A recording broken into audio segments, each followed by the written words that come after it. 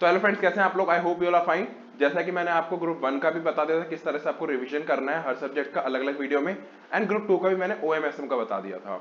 But अभी आपके तीन पेपर बच गए थे, जो कि मैं नहीं बना पाया था, जो कि मैंने आपको प्रीवियस वीडियोस में बताया था, कुछ हेल्थ इश्यूज़ की वजह से मैं वीडियोस नहीं बना पाया था।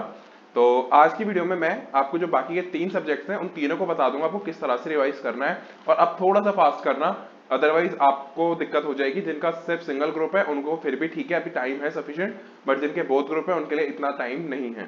ठीक है? जैसे कि मैंने आपको सबसे पहले आपको एबीसी एलिसिस दिया था, हर सब्जेक्ट का। वो मैंने ग्रुप टू का भी पूरा दिया था। आपको क्या करना है? आपको वो वाले जाके ही देखने हैं। उसमें A category B category C category मैंने डिस्ट्रीब्यूट किया था। हर सब्जेक्ट का मैंने सेम करा था। तीन कैटेगरीज बना दिए थे और उसमें मैंने आपके चैप्टर्स को डिस्ट्रीब्यूट करा था। अब आपको क्या करना है? उसको ही फॉलो करना है। सी कैटेगरी को मैं ये नहीं कहूँगा कि छोड़ दो। उसको करना लेकिन अगर आपको लगता है कि आपका सप, आपके पास सफिशियंट टाइम नहीं है तो उसको सिर्फ़ गो थ्रू करना और आपका जो बाकी के दो कैटेगरीज है ए और बी उसको थोड़ा अच्छे से करना। ठीक है?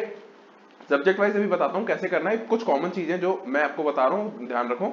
उसके बाद में आपको एक एक सब्जेक्ट का बताता हूँ। तो आपको क्या करना है? आपको पहली चीज़ पता चल गई क्या करना है? आपको ए और बी कैटेगरी बहुत अच्छे से करना है। ठीक है?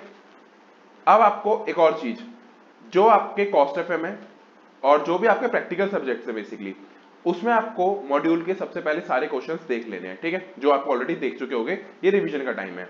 रिवीजन के टाइम में आपको चीज़ें करनी नहीं होती, आपको सिर्फ़ देख के और कुछ चीज़ें प्रैक्टिस करनी होती है कि हाँ भाई, ये टफ क्वेश्चन है, ये हो पा रहा है मेरे से, नहीं हो पा रहा, मेरी स्पीड कैसी है? आप ये सारी चीज़ें देखते हो, आपको वही चीज़ करनी है, ठीक? अब आते हैं सबसे पहले सब्जेक्ट के ऊपर। लेट से सबसे पहले हम उठाते हैं कॉस्ट एफ़ को। कॉस्ट एफ़ में आपको पता होगा, आपको या तो कॉस्ट अच्छा होगा एफएम अच्छा होगा। कुछ कुछ बहुत अच्छे बच्चे होंगे, जिनके दोनों अच्छे होंगे। तो जिनका कॉस्ट अच्छा है, आप अपना कॉस्ट के ऊपर तो बहुत अच्छे से जान दो और एफएम के कुछ चैप्टर्स उठा लो। जैसे कि डब्ल्यूसीएम हो गया कैपिटल बजटिंग हो गया, ठीक है कैपिटल स्ट्रक्चर हो गया। वैसे जनरली एफ़ अच्छा होता है सबका। तो मैं फिर भी एक बात बोल रहा हूँ कि अगर मान लो किसी का कॉस्ट अच्छा है तो आप एफएम के ये कुछ चैप्टर्स हैं जो कर लो। रेशियो से क्वेश्चन आएगा ही आएगा। वहाँ तो आपको, क्या कहते हैं एमसीक्यू में पूछा जा सकता है रेशियो और इवन जो आपको अब दो मार्क्स के क्वेश्चन हो गए हैं, जो आपके बाकी के वन वर्ड और वन लाइन सेंटेंस जिसको कहोगे आप आप वो उसमें भी जाके देखोगे तो आपको वो मिल जाएँगे रेशियो के क्वेश्चन तो रेशियो बहुत अच्छे से कर लेना। अब आप वही बोलोगे रेशियो सारे कैसे याद करें? तो मैंने आपको पहले भी बताया था ये चीज़ और अब फिर बता रहा हूँ रेशियो को सारे याद करने की ज़रूरत नहीं है। अपने पास कुछ सालों के क्वेश्चन पेपर उठाओ और उसमें से देख लो कि रिपीटेड रेशियोज कौन से हैं जो पूछ रहा है इंस्टीट्यूट आपको इवन क्वेश्चन तक दिख जाएँगे कौन से रिपीटेड आ रहे हैं और क्वेश्चन देखें ना देखें, आपको पता चल जाएगा। For example cost of good sale sold निकालने का आ रहा है और आपको ऑपरेटिंग प्रॉफिट निकालने को आ रहा है। जो भी चीज़ मतलब आप देखना वहाँ पे रेशियोज आपको दिखेंगे। आप बस वो वाले रेशियोज पहले प्रिपेयर करो और बाकियों को सिर्फ़ गो थ्रू कर लेना। और उन जो रेशियोज को जो आप पेपर में से निकालोगे, बहुत अच्छे से करना। ठीक है? यही चीज़ आपको बाकी सब्जेक्ट में ही फॉलो करनी है जहाँ पे आपको सेक्शंस बहुत सारे आ जाते हैं या फिर कुछ इस तरह से आ जाते हैं। जैसे कि आपका टीडीएस हो गया डिडक्शन हो गया जीएसटी में भी एग्जामेशन हो गई। यहाँ पे आपको यही चीज़ करनी होती है पहले पास्ट ईयर से देखो कि इंस्टीट्यूट रिपीटेड क्या पूछ रहा है। इससे क्या होगा, आपको एक तो इंपॉर्टेंट पता चल जाएगा कि हाँ भाई इंपॉर्टेंट ये है। और उसी के अकॉर्डिंगली आप उन चीज़ों को कवर अप करना। जो रिमेनिंग रह जाता है, वो मान के चलो लेस इंपॉर्टेंट है या फिर बिल्कुल भी इंपॉर्टेंट नहीं है तो उसको सिर्फ़ एक गो थ्रू कर दो कि क्या पता भाई किस्मत खराब हुई और वहाँ से इंस्टीट्यूट ने पूछ लिया। तो हम एटलीस्ट हमारे दिमाग में थोड़ा बहुत तो आइडिया आ जाए और उसके अकॉर्डिंगली वहाँ पे कुछ तो लिख पाए। ठीक है? तो ये हो गया। अब आते हैं, जिनका एफएम अच्छा है। अब जिनका एफएम अच्छा है ना, वो कॉस्ट के कुछ चैप्टर उठा लो। For example chapter number one हो गया थ्योरी वाला। ऐसे एफ़ का भी थ्योरी है थोड़ा इंपॉर्टेंट है। फ़र्स्ट चैप्टर जो है। उसके बाद कॉस्ट का कॉन्ट्रैक्ट कॉस्टिंग हो गया। ठीक है? उसके बाद आपका ऑपरेटिंग प्रॉफिट हो गया, जो आपका ऑपरेटिंग प्रॉफिट कॉस्टिंग हो गया सॉरी ऑपरेटिंग कॉस्टिंग हो गया, वहाँ से क्वेश्चन पूछता है इंस्टीट्यूट ओवरहेड से पूछ लेता है, उसमें आपको कॉस्ट शीट के क्वेश्चन पूछ लेता है। शीट के क्वेश्चन ज़्यादा आने के चांसेस हैं, क्योंकि इसके चार पाँच पार्ट्स बहुत आराम से बन जाते हैं।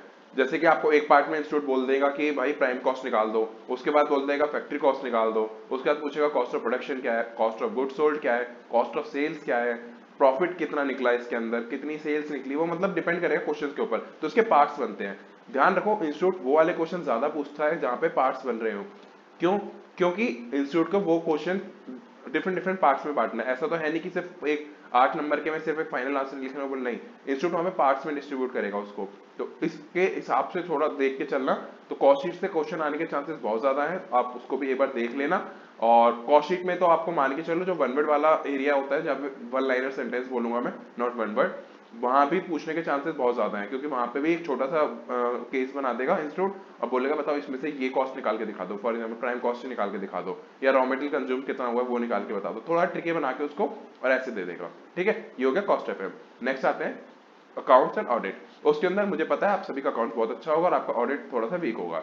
ऑडिट के अंदर मैंने आपको पहले बोला था कि आपके हर सेक्शन से क्वेश्चन आने ही होते हैं और डेफिनेटली आएँगे ही आएँगे। इसके लिए आप सबसे पहले पास के क्वेश्चन को उठाओ और उनको कर दो। उसके बाद में आपका जो है अपना टाइम बचे तो मॉड्यूल को रेफर कर लेना। इवन टाइम का बचे आपको मॉड्यूल एक बार तो देखना ही चाहिए, जो कि आप ऑलरेडी देख भी चुके होंगे। वहाँ से आप इंपॉर्टेंट एरिया जो आपने मार्क किए होंगे, आप उनको कर लेना। ठीक है? लेकिन थ्योरी में आपको सबसे पहले अपना इस टाइम पे स्कैनर को गो थ्रू ज़रूर करना है। स्कैनर गो थ्रू करना बहुत ज़रूरी है। मैं ये नहीं कहूँगा वहाँ से एज क्वेश्चन आएगा बट वहाँ पे, वहाँ से आपको इंपॉर्टेंट एरियाज़ पता चल जाएँगे जो कि आप ऑलरेडी कवर कर दोगे।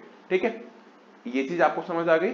ऑडिट में आपको कैसे करना अकाउंट्स के अंदर आपको ऑलरेडी क्वेश्चन आपने प्रैक्टिस करे होंगे। आपको वही चीज़ प्रैक्टिस करनी है। आपने जो क्वेश्चन इंपॉर्टेंट मार्क किए होंगे, आपको वो चीज़ वहाँ से कवर अप कर लेनी है।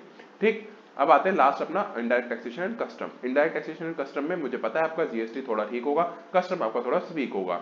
आपको क्या करना है? इनडायरेक्ट टैक्सेशन में जो आपका जीएसटी है जीएसटी के आपको कुछ चैप्टर्स है for time time of supply value supply इनके तो मैंने आपको ऑलरेडी वीडियोस भी दे रखे थे, आप जाके जीएसटी वाले प्लेलिस्ट में जाके देख सकते हो।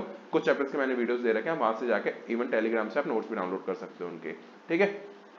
वो हो गया उसके बाद आपको वैल्यू निकालने को पूछता है इंस्टीट्यूट उसके बाद आपको एक क्वेश्चन इंस्टीट्यूट जो आपको पूछेगा वो आपको टैक्सेबल वैल्यू निकालने को पूछेगा। इवन आपको आ, ये भी पूछ सकता है कितना टैक्स कैरी फॉरवर्ड या कैरी फॉरवर्ड हो रहा है आप वो मतलब नेट लाइबिलिटी निकालो और अगर कोई टैक्स कैरी फॉरवर्ड हो रहा है तो आप वो बताओ। तो उसमें आपको यूटिलाइजेशन पूछता है एक तरीके से इंस्टीट्यूट कि आपके पास आईजीएसटी इतना है सीजीएसटी इतना है एसजीएसटी कितना है।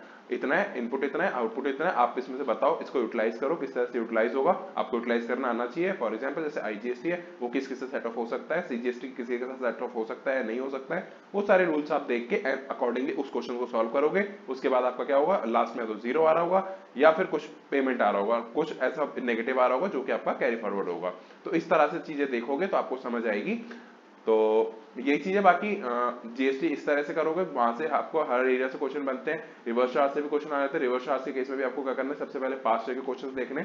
आने, वहाँ से देखने आपको कौन कौन से रिपीटेड क्वेश्चन आ रहे हैं, क्योंकि जीएसटी तो अभी आया है तो इसलिए आपको ज़्यादा दिक्कत नहीं होगी। ठीक है ना? एंड आई नो मैं थोड़ा सा फास्ट बोल रहा हूँ इस वीडियो के अंदर, मैं नहीं चाहता हूँ इस टाइम आप लोगों का टाइम वेस्ट हो। इस टाइम आपका टाइम बहुत ज़्यादा कीमती है तो आप, मैं जल्दी से जल्दी कवर कराना चाहता हूँ सो दैट की आप देखो और अपना पढ़ाई पे ध्यान दो। ठीक है? और बस इतना ही अपना, और कस्टम के अंदर कस्टम के भी मैं वही बोलूँगा पास के क्वेश्चन देख लो। इन शॉर्ट में बोलूँ तो आपको पास के क्वेश्चन देखना है एंड देन मॉड्यूल देखना है। अभी इसके अलावा आपके पास टाइम बचे तो बाकी चीज़ें देखनी है, जो अमेंडमेंट्स आई हैं, उसको प्लीज़ देख लेना, ठीक है ना? उसको अच्छे से देख लेना, अपना जो आर आरटीपी जो आपका इंस्टीट्यूट निकालता सप्लीमेंट्री पेपर्स वो देख लेना। मैंने इवन उसके अंदर टेलीग्राम चैनल के अंदर शेयर कर रखे हैं, जिन लोगों ने डाउनलोड करने आप जाके वहाँ से डाउनलोड कर सकते हो, ठीक है? तो फ़िलहाल इसी तरह से आपको इसकी प्रिपरेशन करनी है। तीनों सब्जेक्ट बहुत अच्छे से कर लेना और जिनका सिर्फ़ सिंगल ग्रुप है, आप लोग फिर भी थोड़ा सा देख लो टाइम है आपके पास। बट जिनका बोथ ग्रुप है, आप लोग बहुत फास्ट रिविजन करो इस टाइम और देन अपने मॉडल एग्ज़ाम्स प्रिपेयर करो। मेरे को भी फिर से कल की वीडियो के इवन बाद भी आप, मेरे को रिसीव हुए मैसेज कि भाई मेरा इतना परसेंट सिलेबस पूरा नहीं हुआ और मेरे को इस तरह पैनिक हो रहा हूँ और मैं नहीं कर पाऊँगा इस बार। तो मैं आपको वही बोलूँगा जितनी तैयारी है अपनी तैयारी के ऊपर अपना थोड़ा सा भरोसा रखो और कॉन्फिडेंस रहो कॉन्फिडेंस में रहो और मोटिवेटेड रखो अपने आप को। आप लोग की जितनी तैयारी है अप, अपना एग्ज़ाम दो क्योंकि अब आपके एग्ज़ाम में ज़्यादा दिन नहीं है। मान के चलो बीस इक्कीस दिन है तो आप प्रॉपर वे में आप उस चीज़ को अच्छे से प्रिपेयर करो। एंड बाकी जो क्वेरीज है ना आपकी कि स्टेप वाइज मार्किंग है या ये नहीं है वो सबके आपके आंसर मिल जाएँगे। अभी फ़िलहाल अपना एग्ज़ाम के ऊपर फोकस करो ठीक है ना? तो अपना करो अच्छे से all the best and tension मत लो यार, बिल्कुल भी टेंशन के साथ पढ़ाई मत करो। मैं यही बोलूँगा, देखो, जितनी टेंशन लोगे, आप पैनिक करोगे, पैनिक करने से पढ़ाई नहीं होती है। आप अगर सोचते हो कि टेंशन लेने से आपकी पढ़ाई हो जाएगी, नहीं होगी आपका टाइम वेस्ट होगा, आप घंटों घंटों निकाल दोगे। सिर्फ़ यही सोचने में यार, कैसे होगा कैसे होगा। इससे बेटर है कि आपका जितना टाइम है, आप उसको यूटिलाइज करो, जितना कर सकते हो, ठीक है? उतना ही करके आप एग्ज़ाम में जाओ, ठीक है? अपने आपको थोड़ा सा प्रेशराइज करो, थोड़ा सा ज़्यादा नहीं कि हाँ भाई, थोड़ा सा थोड़ा सा अपने आप को ना पुश करो। कि हाँ मेरे को ये चीज़ करनी है तो आप कर लोगे। ज़्यादा पुश मत करना। ज़्यादा पुश करने से ये होगा कि आप उस चीज़ को ना कर नहीं पाओगे। जितना आपको लगता है कि हाँ आप प्रेशर झेल सकते हो सिर्फ़ उतना ही अपने आप को प्रेशर देना, इससे ज़्यादा मत देना। और टेंशन फ्री होकर पढ़ो। 60 परसेंट करो 70 परसेंट करो, बस अपना बेस्ट दे दो, ठीक है? और इस टाइम पे कोई भी ये थॉट मत लेके आओ कि टाइम दूँ, ना दूँ। एग्ज़ाम फॉर्म भर दिए, अब आपको टाइम देना ही देना है। कोई, देखो इमरजेंसी या कुछ ऐसी सिचुएशन आ जाए भगवान ना करे ऐसा कुछ हो बट कुछ ऐसी सिचुएशन आती है, उसी केस में छूटता है वो। अदरवाइज़ आप अपने एग्ज़ाम दो। तो thank you so much watching this video आज की वीडियो में इतना ही है।